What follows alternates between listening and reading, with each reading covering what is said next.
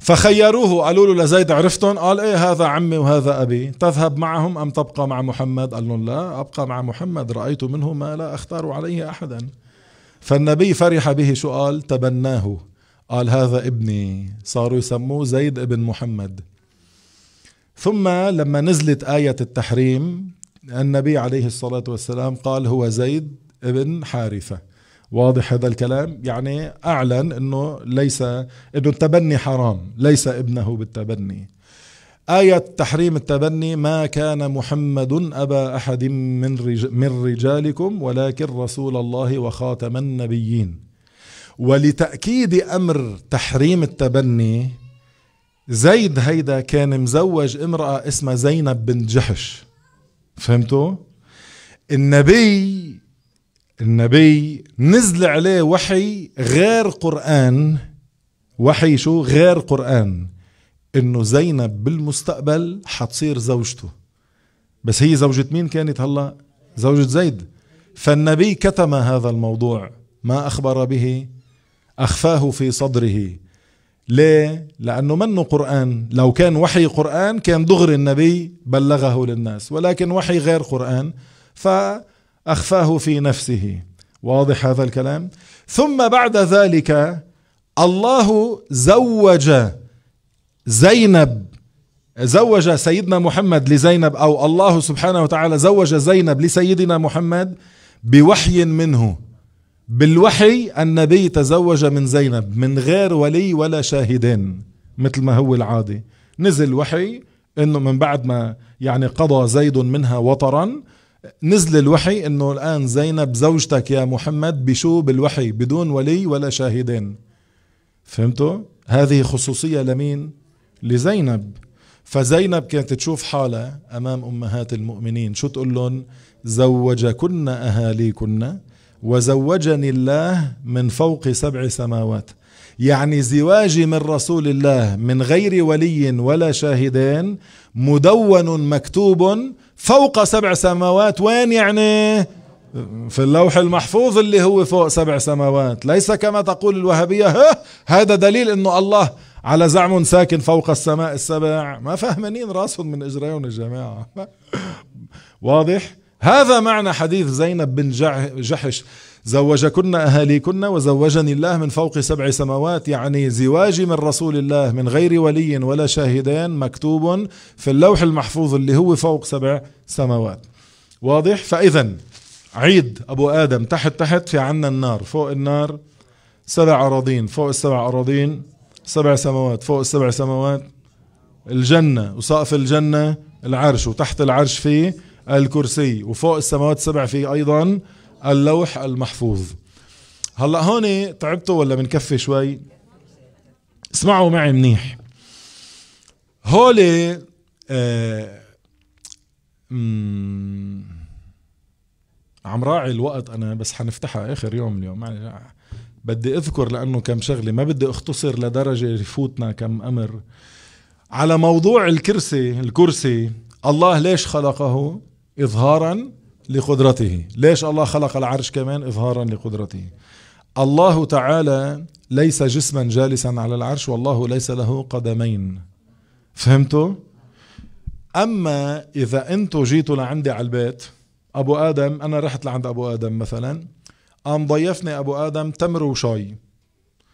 فبرجع على البيت بيقول لي زياد ما كان قدمه أبي آدم ما كان قدمه لك أي ماذا قدم لك كضيافة؟ فبقول له قدمه عم بحكي على إجره هلا. Am I talking about his foot آه قدمه تمر شاي. هذا ما قدمه لي يسمى قدم باللغة العربية. والقدم اللي فيها خمس أصابع تسمى قدم كرة قدم. على حسب الكونتكست وين عم تستعملها شو كان قدم أبو آدم؟ بقول له تمر وشاي انتبهنا لوين شو بدك تشوف؟ بدي أشوف كرة القدم مباراة. تفهم من ال context شو قصدي بالقدم. يوم القيامة الله يضع الكفار في نار جهنم فوج بعد فوج بعد فوج يقدمهم للنار حتى يضع الله تبارك وتعالى آخر فوج في النار والتي النار بهم تمتلئ بما قدمه الله من الكفار في آخر فوج. فشو بتقول النار؟ قطن قطن. النار قبل ذلك كلما قدم الله لها فوجا من الكفار. شو تقول النار؟ هل من مزيد؟ اللهم أجرنا من النار. تميزوا من الغيظ وهي تفور. قصة كبيرة. هل من مزيد هل من مزيد حتى يضع رب العزة قدمه فيها؟ أي حتى يضع رب العزة آخر قدم يعني آخر فوج يقدمه للنار. آخر فوج يقدمه الله للنار اسمه هون قدم الله. ليس أنه الله تعالى يوصف بالقدم لا. قدم الله معناه ما قدمه الله للنار. حتى يضع رب العزة قدمه فيها أي آخر فوج من الكفار التي بها تمتلئ. الوهابية شو بيقولوا؟ أه! قدم على زعم القدم يعني إجر. وهذه الإجر على زعم يضعه الله تعالى في نار جهنم يوم القيامة. هول فهموا من الدين شيء هول؟ لك ما فاهمين ما فاهمين شيء لذلك كثير منهم ينقلب من الوهابية إلى الإلحاد. عرفت؟ لأنه it doesn't make sense. فهمتوا هذا الكلام؟ من الوهابية إلى الإلحاد. الله يرحمنا. فالله تعالى ليس له قدم. وكمان الله ليس له ساق. فهمتوا؟ بالعربي بنقول الحرب كشفت عن ساقها معناه اشتدت المعركة. يوم القيامة الله تعالى يظهر شدة شديدة. فالله قال يوم يكشف عن ساق يعني يوم يكشف عن شدة شديدة. ليس انه الله له شنبون الله ليس له شنبون هذا العظم اللي هو بين الركبة والكعبين اسمه شنبون ساق. الله ليس له ساق. فهمتوا؟ يوم يكشف عن ساق أي يوم يكشف عن شدة شديدة. لا يقال الله له قدم لا كأقدامنا ولا ساق لا كسيقاننا. ما بينقال هالكلام. من صفة لله.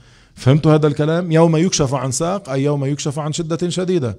حتى يضع رب العزة قدمه فيها أي حتى يضع آخر فوج يقدمه للنار. حتى يضع رب العزة رجله فيها أي الرجل أي الفريق أي المجموعة من الكفار. لأنه في روايتين قدمه ورجله. رجل من جراد أي جمع من جراد. حتى يضع رب العزة رجله أي آخر جمع من الكفار يضعه في النار. شفت؟ ابتلاء من الله. الواحد بده يتعلم. فهمتوا هذا الكلام؟ فالله سبحانه وتعالى ليس له قدمين يضعهم على الكرسي. واضح لحد هون؟ طيب. هلأ ركزوا معنا شوي. آه السماوات السبع قديش كبار؟ اسمعوا. سمك السماء سمك كل سماء أبو آدم مسيرة 500 عام. سمك كل سماء وما بين كل سماء 500 عام وسمكة السماء الثانية 500 عام بين الثانية والثالثة 500 عام وسمك الثالثة 500 عام وهكذا إلى السابعة. وهول السماوات سبحانك ربي خلقهم الله تعالى من غير عمد. والله لم يشأ لهم أنه يهبطوا علينا فيكسرونا لأنه السماوات شو؟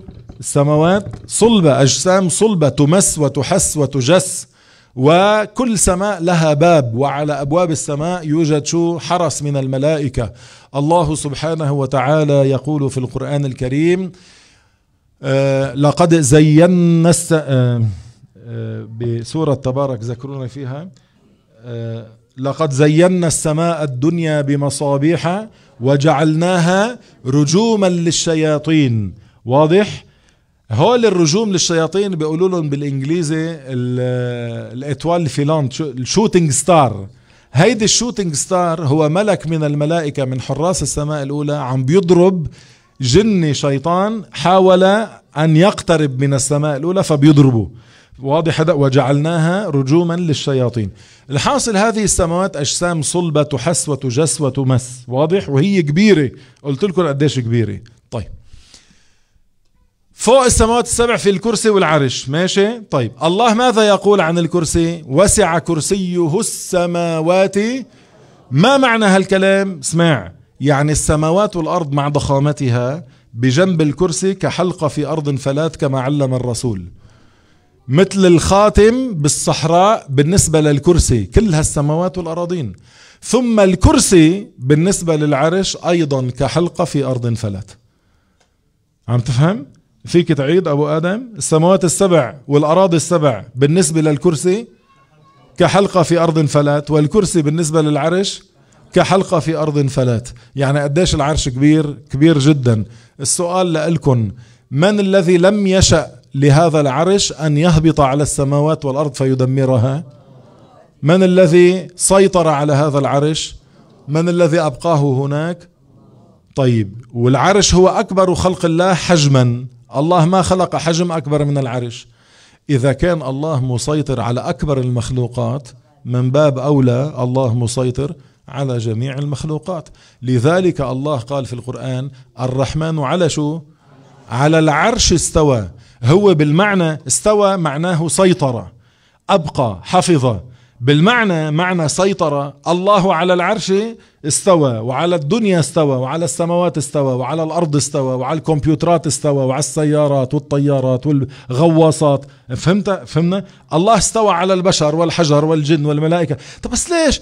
الله تعالى خص العرش بالذكر لأنه العرش أكبر المخلوقات. فالفهمان العاقل الذكي المتدبر الوهابية منهم منهم فالذكي لما يقرأ الرحمن على العرش استوى. شو بيفهم؟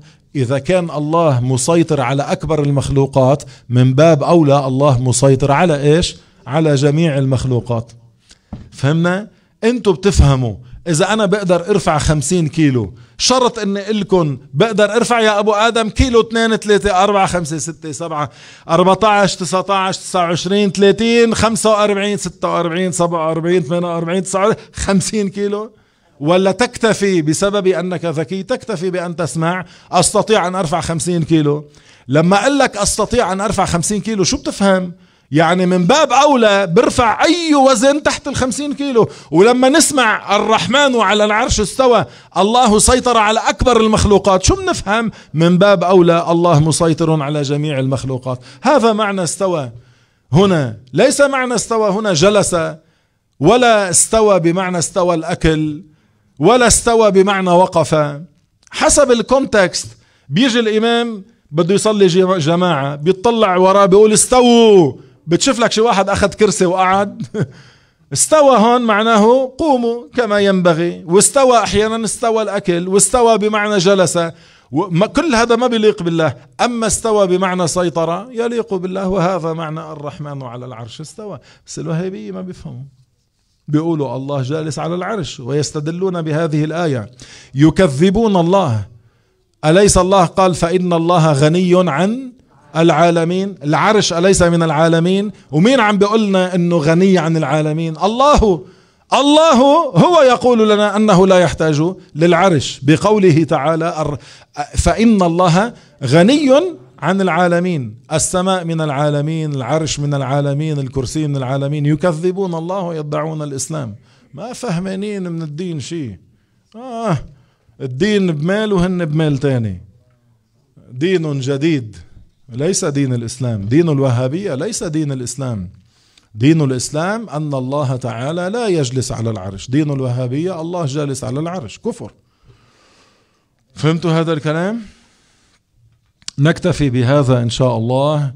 ثم الآن مشان ما نتأخر عليكم أكثر من هيك بنخبركم قصة جريج. هلأ قصة جريج ليش هي قصة جدا مهمة تفهموها؟ ولناس مثل يعني مثل حكاية يلي بيعطوا دروس أو الناس المعروفين أنتوا طيبين نحن طيبين. عادة بنشوف واحد مقبل على الدعوة ظاهره. الله ستر عيوبه وأظهر لنا محاسنه. أحيانا منحب نمدحه نظن به خيرا. منقول لعله هذا الشيخ وصل. انتبهنا؟ وهو حقيقة الأمر لا نزكي على الله أحدا. وبالنهاية الحمد لله الذي أظهر الحسن وستر القبيح. والحمد لله الذي جعله أفضل. يعني نسأل الله أن يجعله أفضل مما نظن. ويستر عليه ما لا نعلم. فهمت هذا الكلام؟ كل منا بين ثوبيه فضوح. ولكن إن كان هلأ ولا بعدين قد الناس يظنوا فيك خير فأنت تحتاج إلى شيء يربيك ويهذبك. فأنا شخصيا آخذ هذه القصة في نصب عيني حاططها هون. لذلك إن شاء الله وبفضل الله لا أتأثر. فهمت؟ يعني وإن قيل مليونين متابع على الفيسبوك ما بيهزوا شعرة من جسمي ما ولا كأنه في ولا كأنه موجودين الحمد لله. لأنه بالنهاية هذا فضل من الله هذا من فضل ربي. أو إنه بعطي درس مثلا بيحضروا كثير من الناس هذا بعضلة ولا بفضل الله؟ قلوب العباد بيد من؟ بيد الله. الله أقبل بقلوبهم. فهمت هذا؟ الواحد دائما بده يتذكر مشان ما يصاب بالعجب ولا يصاب بالرياء. وبتعرفوا أنتم أحيانا الناس بيجوا بيقولوا يا شيخ يا كذا يعني بتحس من لطافتهم أنهم يظنون بك شيئا. فهذا الداعي إلى الله يحتاج أن يتذكر دائما العبر.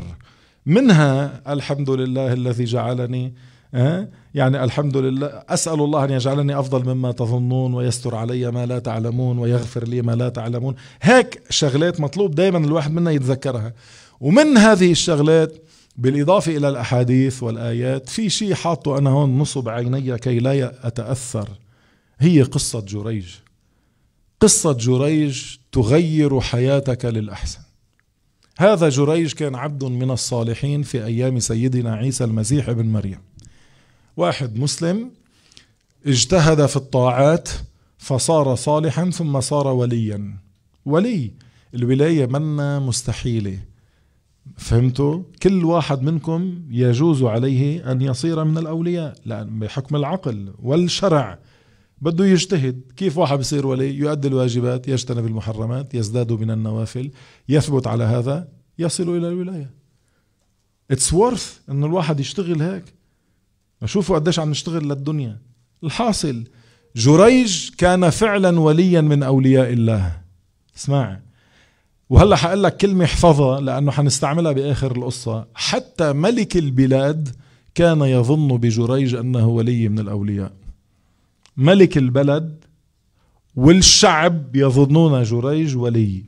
جريج هذا ما نافسهم على على دنيا ولا على امرأة. لا نافسهم على دنيا يصيبها ولا امرأة ينكحها.